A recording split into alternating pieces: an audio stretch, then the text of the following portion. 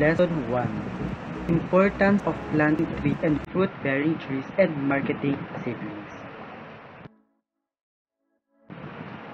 Planting and propagating trees and fruit-bearing trees is a source of livelihood for many Filipino families.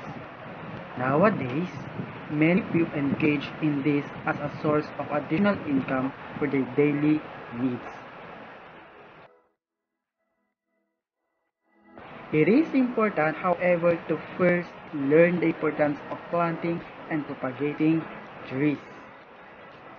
Trees are important to the family and the community for the products and amenities they give such as 1.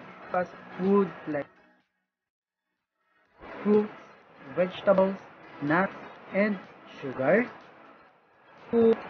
Wood used as fuel for cooking and heating.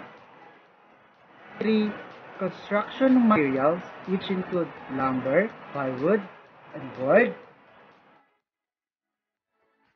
4. Fiber to produce pulp and paper. And 5.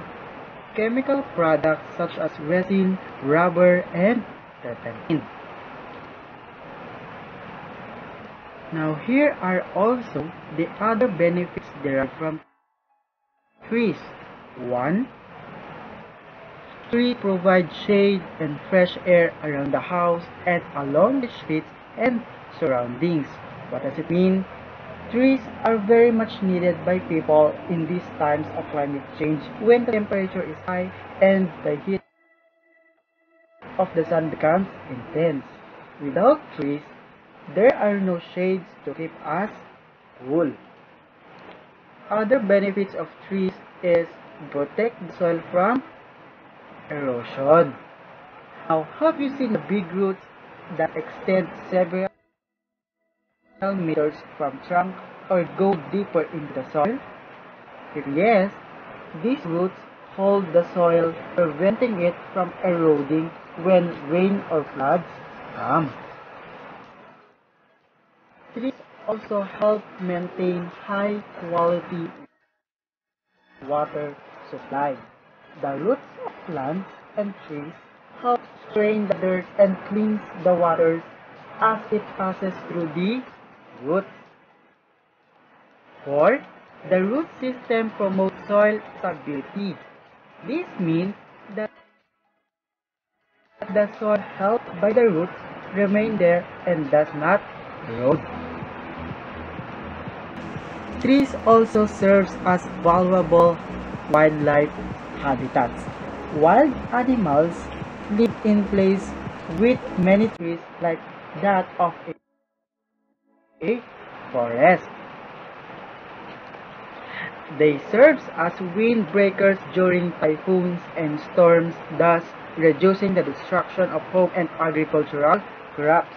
What does it mean? A typhoon that is strong usually moves at a very fast speed. It continues to be that strong if there are no barriers on the path where it moves. But then, it passes barriers like mountains and trees. It slows down and its speed is reduced. Small crops and plants as well as houses are safe when typhoon is big. Trees also help reduce pollution in congested urban areas. Remember that trees take in carbon dioxide emitted from vehicles that belches smoke. The more trees present, the less amount carbon dioxide is in the air. Trees also contribute to the beautiful landscape in the city and the life.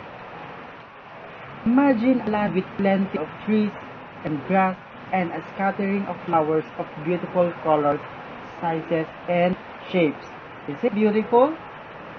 Of course, it is. Now, other benefits of trees is they improve the atmosphere of a place by giving a feeling of freshness and coolness as they reduce temperature. They also prevent river and lake sedimentation. Now, have you observed a river bank that is lined endlessly with full-grown trees? If yes, these trees help hold the water in the lake and the river it there.